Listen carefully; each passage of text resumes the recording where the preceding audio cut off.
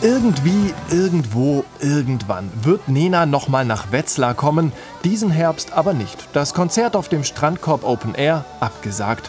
Grund ein Auftritt vergangenes Wochenende in Brandenburg. Die 61-Jährige soll ihr Publikum ermutigt haben, das Hygienekonzept zu missachten und die festen Plätze zu verlassen.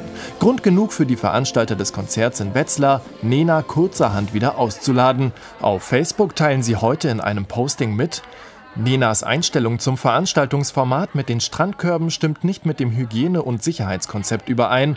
Und weiter, als Veranstalter distanzieren wir uns daher von den Aussagen und dem Auftreten der Künstlerin. Im Netz ernten die Veranstalter für ihr Handeln auch Kritik. Ihr seid Luschen, immer schön regierungs- und medienkonform sein oder lächerlich, nur weil Nena nicht die vorgegebene Mainstream-Meinung unterstützt.